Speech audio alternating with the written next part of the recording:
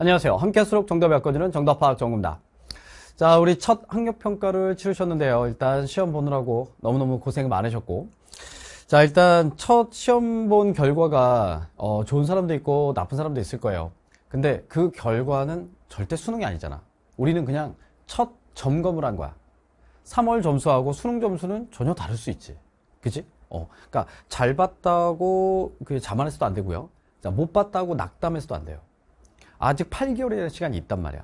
이 기간 동안 충분히 끌어올릴 수 있는 거고, 어, N수생이 이번에 안 봤을 거고, 자, 우리 고3 학생들만 봤기 때문에, 고3 학생들은 아직 기출에 대한 반복이 많이 안 됐을 거야.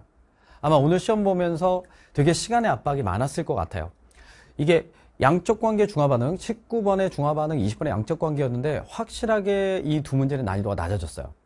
근데 만나야지 뭐. 난이도가 맞아졌어도 얘를 만나야 되잖아. 그러니까 2페이지, 3페이지를 조금 더 빠르게 풀어야 돼요. 2페이지, 3페이지를 빠르게 푸는 방법은 기출의 반복이에요. 기출의 반복이야. 물론 2페이지에서 새로운 그래프 하나가 보였어요. 8번 동위원소 문제에서. 자, 그리고 10번에서 그 주사위, 어, 그러니까 뭐 경악한 사람이 있었을 텐데, 그건 그냥 기출에 나왔던 물질들을 갖다 놓고 배치만 한 거잖아. 음. 그래서 약간 그림이 새로웠을지 모르지만 난이도가 그렇게 높은 건 아니었어요. 그래서 기출을 많이 풀어봐야 된다. 그걸 좀 느꼈으면 좋겠어. 자극을 받았으면 좋겠어. 아, 기출을 많이 풀어서 내가 이 조건들이 나왔을 때 이게 누구다, 누구다, 어떤 걸 이용하는 거다라는 게 조금 더 빠르게 생각이 나야 돼. 아, 이 문제 어떻게 풀지? 해서 머릿속에서 많이 오랫동안 이제 버퍼링을 하고 있으면 그 시간들이 누적이 되면서 압박이 좀 심했을 것 같아요.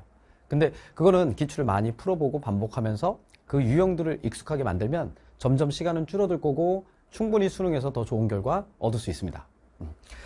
음. 자, 그럼 쌤이랑 그 주요 문항들. 자, 1페이지는 통과해도 될 것 같고요. 자, 2페이지 7번부터 20번까지 같이 한번 풀어보도록 할게요.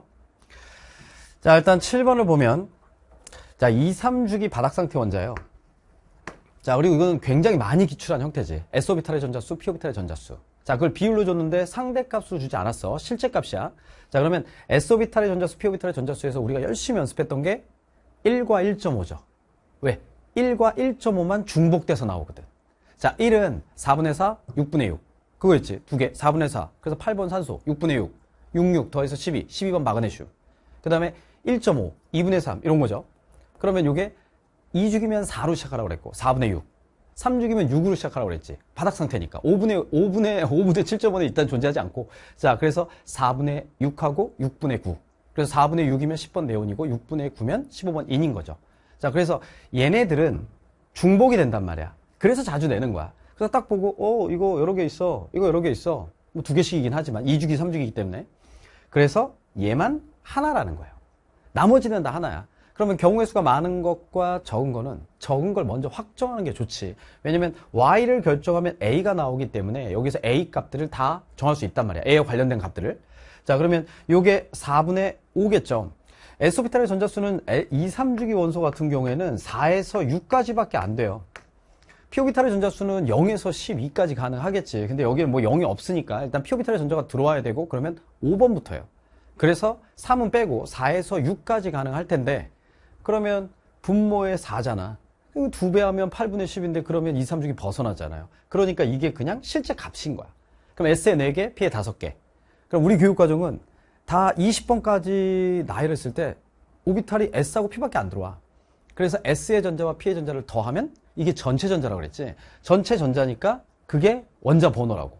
양성자수 전자수 똑같으니까. 자, 그래서 딱 보고, 오, 9번이네. Y는 하나밖에 없다는 거야. 그래서 이걸 먼저 정하는 게 우선이에요. 왜냐면 얘하고 얘는 중복돼서 나오는 애니까. 그지? 두 개씩 있단 말이야, 지금. 자, 그래서 이걸 보고, 아, 9번 플로린, 그럼 홀 전자수니까 홀 전자수 101231빵, 101231. 이게 다 반복이 돼서 빨라져야 돼. 그러면 17쪽이니까 이건 1이구나. 그럼 A-1이 1이니까 그러면 A는 2였단 얘기고, 그 다음에 너는 3이었단 얘기가 되는 거죠. 그러면 요거 1 나오는 거 4분의 4, 4분의 4, 8번 산소, 그 다음에 6분의 6, 12번 마그네슘 둘 중에 냈을 거 아니야. 그지? 그러면 8번 산소는 홀전자 수가 2, 그 다음에 6, 6 되면 어 너는 12번 마그네슘이니까 마그네슘 홀전자 수가 0이란 말이지. 자, 그래서 아, 네가 산소구나 라는 걸 두 번째로 찾을 수가 있고. 자, 그 다음에 2분의 3 나오는 거 원래 20번까지 가면 3개 나오죠. 근데 지금 2주기, 3주기까지로 잘라놨기 때문에 4주기가 빠진 것 뿐이야. 자, 그러면 얘는, 아, 2분의 3. 그러면 S가 4라는 걸 기억하라는 거야. 2주기면. 그걸 기준으로 2분의 3을 맞추고, 3주기면 6을 기억했다가 6분의 9로 맞춰내는 거죠. 4주기가 만약에 포함되어 있었다면 8로 가도 돼. 8분의 12. 그래서 이렇게 되면 10번 네온이고, 이렇게 되면 15번 인인 거지. 그럼 둘 중에 홀륜자수 3. 홀륜자수 3은 15족밖에 없잖아. 그지? 자, 그러면 네온 아니고 여기 있는 인이 되는 거죠. 그래서 아, Z가 인이구나. 이렇게 차례대로 찾아주면 되는 거지. 됐지? 자, 그래서 많은 기출의 반복이 필요해요. 그래서 S의 전자, P의 전자 나오면 아, 1하고 1.5는 중복이다. 여러 개 있다. 그러니까 얘부터 찾아야 되겠다. 됐지? 자, 그런 순서를 한번 익혀봐봐. 자, 그래서 A가 2가 맞고요. 원자가 전자수는 X하고 Z하고, 자, 16족, 15족이니까 X가 크다도 맞고요. 아, 니은, 어, X가 크다 맞지? 그 다음에 전자가 들어있는 오비탈 수, 자, 이런 것들도 다 반복이 돼야 돼. 전자가 들어있는 오비탈 수. 자, 이거 두 개가 들어있는 건지 그냥 들어있는 건지 잘 봐야지. 그럼 전자가 들어있는 오비탈 수니까 2죽이면 2, 2, 3, 4, 5, 5, 5. 2, 2, 3, 4, 5. 이렇게 숫자들이 머릿속에 그냥 시험지에 쓰지 않고 나열이 돼야 될 거야. 머릿속으로. 2, 2, 3, 4, 5, 그 다음에 3죽이면 6, 6, 7, 8, 9, 9, 9, 9. 대체 이 숫자들이 머릿속에 있어야 돼요. 그래서 딱 보고 Z를 보고 아, 6, 6, 7, 8, 9, 9, 9, 9. 아, 9구나. 이렇게 해서 그럼 네가 9구나. 그 다음에 Y는 어, 2, 2, 3, 4, 5, 5, 5, 5. 5가 4번 나오니까 그 구간에 있었겠지. 그래서 아, 5구나. 그렇게 해서 9, 5니까 네가 크다. 그래서 디귿 맞다. 점점 빨라져야 돼. 다 기출이 반복이니까. 자, 그런 것들을 이제 계속 시간을 줄여나가는 연습을 하도록 해야 되겠죠. 자, 그래서 기니디가 모두 맞으니까 7번 정답, 5번 하면 되고요.